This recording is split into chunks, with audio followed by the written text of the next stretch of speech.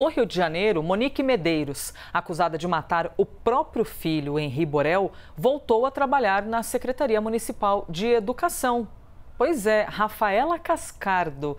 É até é, sensível, assim, digamos, dar esse tipo de notícia e compreender como é que está esse cenário, né? De que maneira exatamente ela voltou a trabalhar, a ter uma rotina e depois de tudo que aconteceu. Nos explique, por favor, esse contexto, Rafaela.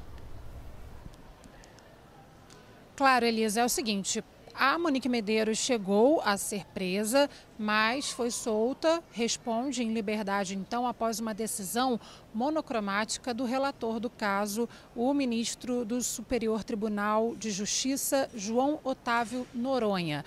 E aí, o que a Secretaria Municipal de Educação explicou para a nossa equipe que entrou em contato foi o seguinte: que a orientação jurídica recebida pela Secretaria de Educação foi de que, como a Monique foi solta pelo STJ e ainda não houve condenação, não há como ela concursada ser afastada então e ter a remuneração suspensa. Por isso, a Secretaria Municipal de Educação reintegrou essa servidora, a Monique Medeiros, ao seu quadro de funcionários então, é, e agora ela está exercendo função administrativa no almoxarifado da Secretaria. Para a gente relembrar, ela é acusada junto com o então namorado dela, o ex-vereador Jairinho, médico aqui no Rio de Janeiro, pelo assassinato do filho de Monique Medeiros, o menino Henri Borel, de 4 anos de idade, no dia 8 de março de 2021.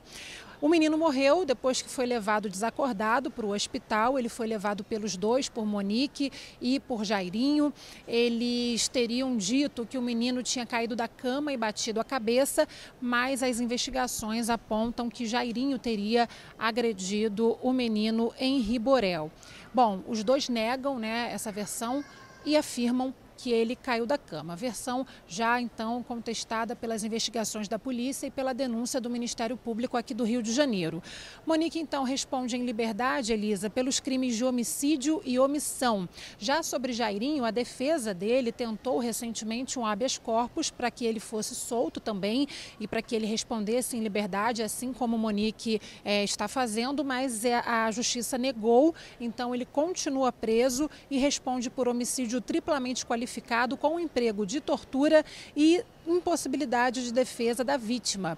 Em novembro, a Justiça determinou que os dois vão passar por júri popular, mas a data ainda não foi marcada. Nossa equipe pediu para a Secretaria de Educação mais detalhes sobre essa reintegração de Monique ao quadro de funcionários e também é, buscou a defesa de Monique Medeiros. A gente aguarda também um posicionamento para ter mais informações sobre isso. Elisa. Obrigada, Rafaela Cascardo, ao vivo do Rio de Janeiro.